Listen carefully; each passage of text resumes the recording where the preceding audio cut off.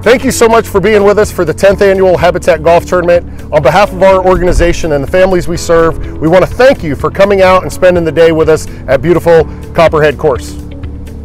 My name is Deontay Bryant, and I just want to say thank you so much for the support that we received through the Habitat for Humanity program for myself and my family.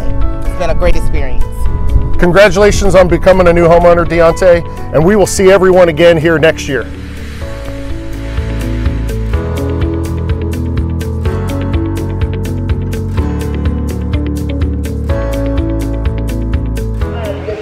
Grateful for the Habitat program.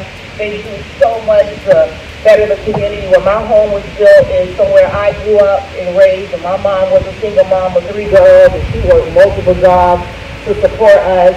And I'm in that same community, and now I can be a homeowner and example in my community for other people.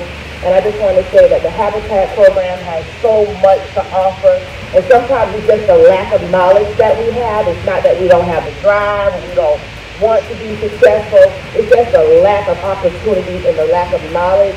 And Habitat has encouraged you, give you that support that you need to know that you can do it. And they hold your hand along the way. So I am proud and confident moving forward, being able to take care of myself and my family and my brand new home. Thank you very much.